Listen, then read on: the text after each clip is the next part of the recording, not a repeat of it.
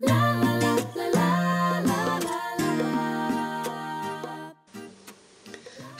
and welcome to Elizabeth's Craft Room. Uh, today I want to talk to you about a background stamp and I am just going to show you, see all those pink highlighted background stamps in the catalogue on page 175? They are all retiring. Um, lots and lots of background stamps going and there's something that I use actually quite a lot in, in classes. Um, really good fun to use. So what I'm going to do is to show you how to use Wildflower Meadow. Now it could be that I've done other videos on this but it hasn't been out of my cupboard this one for a little while but some of my background stamps I use all the time. So I'm tapping all over in Pear Pizzazz and then I'm going to take um, a cotton bud or q-tip as it's called elsewhere in the world we call them a cotton bud in the UK and I always go to say q-tip Right.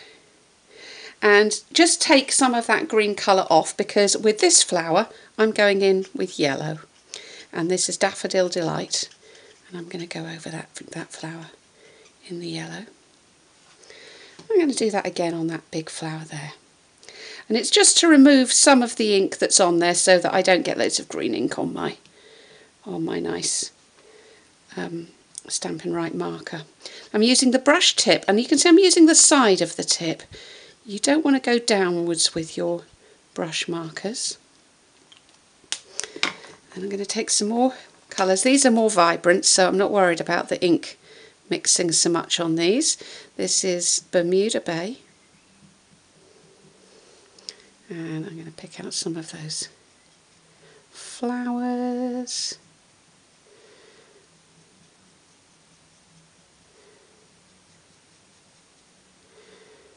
and oops little one there but have them on the same stem and the same colour and then this one is Tangerine Tango and I'm going to do that one there and these little flowers down here and these over here Now this is the marker to stamp technique. I've left that for a little while, so I'm just going to huff on my, on my stamp. I need to bring this to my face, so away from the camera. Just to moisten up that ink. And then this is the way that I like to do this, is to lay the cardstock on the top as a piece of Whisper White and then keep one hand still, rub the other hand over.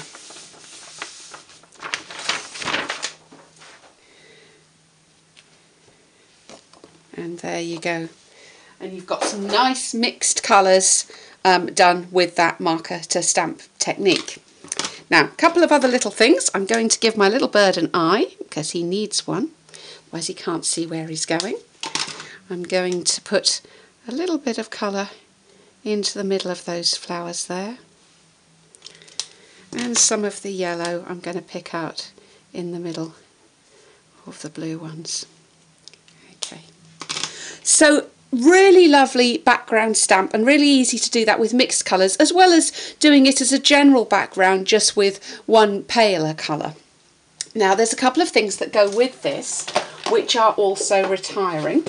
I'm reaching for the first one. Now this is um, an embossing folder and basically you can line up the images with that matching embossing folder and emboss or deboss all of those images.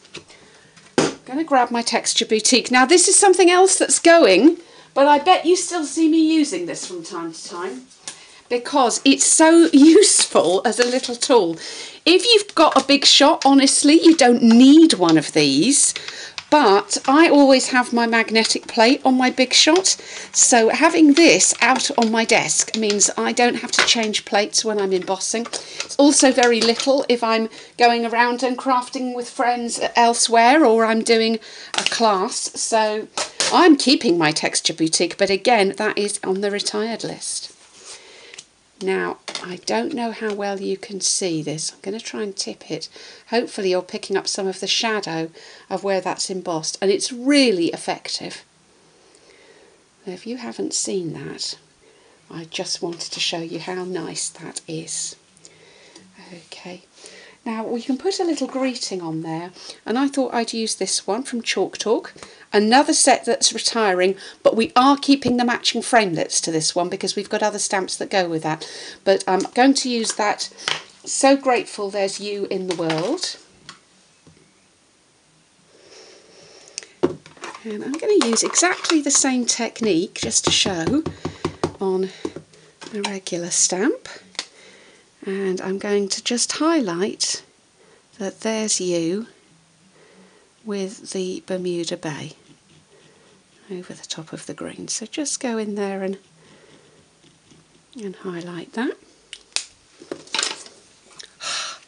Let's give that a quick huff. There we go. Grab my um, large wide oval punch and punch that out.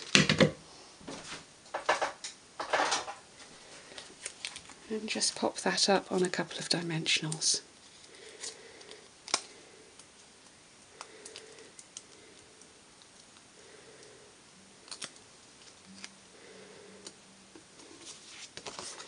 It's so tactile to have the embossing on the card. You just you want to kind of reach out and touch it. It's a it's a really lovely effect. And it's not something that we've got um, with any other stamp set that I can think of um, that you can have the embossed the stamp itself embossed.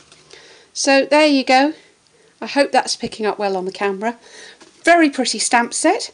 If you want it rush off to my um, uh, my shop via my um, elizabethscraftroom.blogspot.com and just click buy it now and you can have a look and see what's still available and hopefully by the time you're watching that this will still be available and you can grab it for your collection.